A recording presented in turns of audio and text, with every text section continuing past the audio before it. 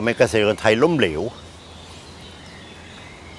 น่าคิดนะทั้งทั้งที่สภาพภูมิอากาศ สภาพพื้นดินน้ำทุกอย่างดีหมด อาจจะเป็นเพราะว่าเกษตรกรไทยเนี่ยไม่ได้เข้าใจธรรมชาติของสิ่งที่ตัวเองทำหลาย ๆ อาชีพในโลกนี้ประสบความสำเร็จ เพราะเขาเข้าใจธรรมชาติของลักษณะงานของเขาว่าเขาทำอะไรอยู่ ก็ยังงงอยู่ว่ามันน่าจะมีอาชีพอะไรไหมที่ ไม่เข้าใจในสิ่งที่ตัวเองทำ ทำไปวันๆโดยไม่รู้ทำเพื่ออะไร แล้วจะพัฒนาได้อย่างไร ไม่น่าจะมีอาชีพใด ยกเว้นอาชีพเกษตรกร ถามว่าทำไมต้องลดน้ำลดทำไม รู้ไหมว่าลดเวลาไหน พืชแต่ละชนิดต้องการน้ำมากน้อยเท่ากันหรือไม่ ฉีดยาฆ่าหญ้า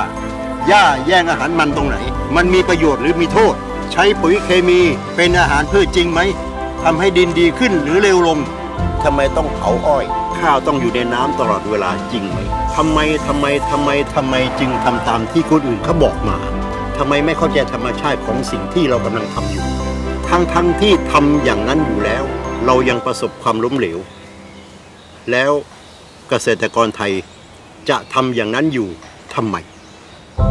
ผมอยากจะเชิญชวนคุณให้มาร่วมตั้งคำถาม ในสิ่งที่คุณกำลังทำอยู่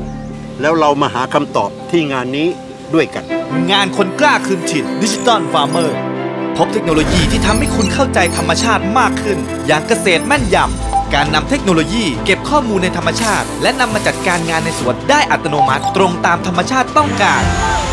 และพบนวัตกรรมอีกมาก เช่นทำนาน้ำน้อยผลผลิตสูง ปลูกอ้อยครั้งเดียวเก็บเกี่ยว 9 รอบ เครื่องซีลสูญญากาศโคตรประหยัด น้องหน้าหม้อ เตาหุงต้มชาร์จมือถือได้ พร้อมแจกแบบให้คุณเอาไปทำเองฟรี พบกัน 3-5 มีนาคมนี้ที่หอศิลป์กรุงเทพ ติดกับรถไฟฟ้า สนามกีฬาแห่งชาติ